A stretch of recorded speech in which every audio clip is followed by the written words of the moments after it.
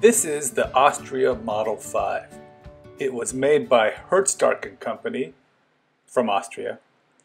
Herzstark Company was founded in 1905 and fell apart shortly after World War II. It was Samuel Herzstark's company, father of Curt Herzstark. Look, here's eight-year-old Curt in his elegant sailor suit demonstrating a Model 3. He didn't like to wear the accompanying sailor hat because it had a bow.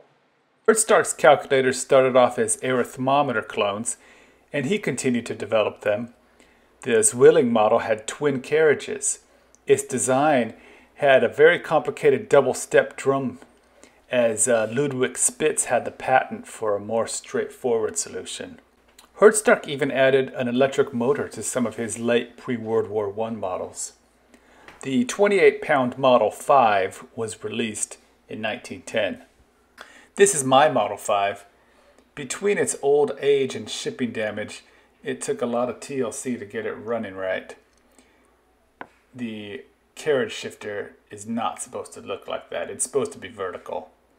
But just take a look at those beautiful round twiddlers. The black and brass on this machine is, is just stunning. This crazy looking contraption is uh, semi-automatic carriage shifter, there's a clock spring in there that can be wound, although I have the screw on there preventing it to be tightened. That little slider slides on the carriage, which will then be pulled by that clock spring back and forth. This lever activates the carriage shifter. You gotta kind of jam on it a lot harder than I want to. This lever clears the sliding inputs, which is pretty cool. The subtraction addition lever is kind of married to that horizontally sliding tooth rack there. And that took a lot of tinkering to get it working right.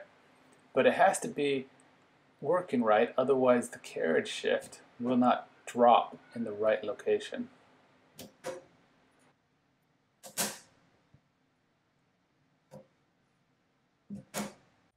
This little sliding bar here is just the coolest decimal mark you ever saw.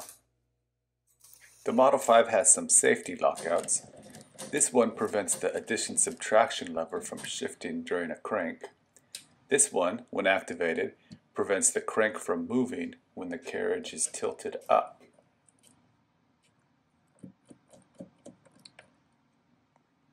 So here I'll do a multiplication problem. First I'll clear the inputs and I'll make sure that the lever on top of the carriage is switched over to multiplication for the carriage shifting. The uh, addition subtraction lever is set to addition and multiplication. And let's do 365 squared.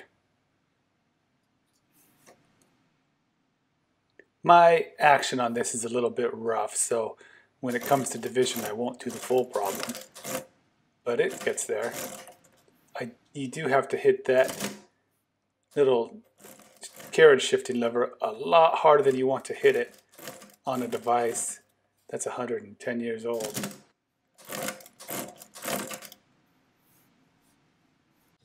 So for division, we'll slide the carriage all the way to the right, making sure that that little sliding lever on top is set to division. We'll set the lever to division. Here, are those little twiddler knobs, they look better than they, than they feel. But I'll set in the uh, dividend, 355. Now I'll do the lever. And uh, let's set in the divisor, 113.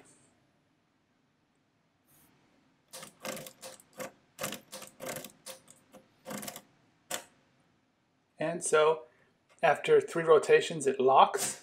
Semi-automatic. So now I have to reverse the last subtraction and shift the carriage.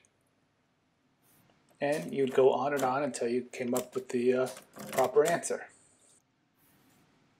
So again, you'll have to forgive this model because it's very stiff, the, the carries and the action. And I think a better term for this type of division is stop division. but uh, Samuel Herzstark eventually added automatic division, fully automatic division. I had the front plate off so many times fixing it and I never filmed the internals working. But here I'll lift it up and show the uh, step drums under there. It's really hard to get that front plate on and off and I just didn't have it in me to do it again. Here's a back panel that comes off pretty easily with a couple screws and there you can see some more, a better view maybe of the um, step drums. That horizontal bar is the um, action that connects the carriage shifting lever.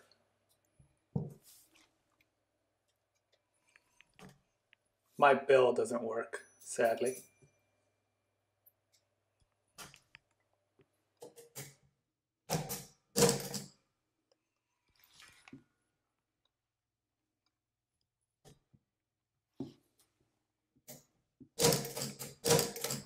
I did film the back of the back panel when I had it off one of the times so you can see the clearing lever in action.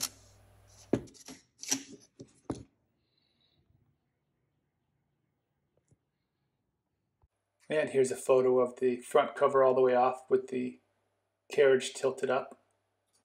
It's no wonder that Samuel Herzstark won multiple awards for this patented calculator. In Curt Herzstark's later years, you could really get a sense of pride that he had for the calculators his father was making in this era before World War I. And there's no wonder why. Mine works pretty well for having been dropped on its head. And you'd be hard pressed to find a much better looking mechanical calculator. Thanks for watching.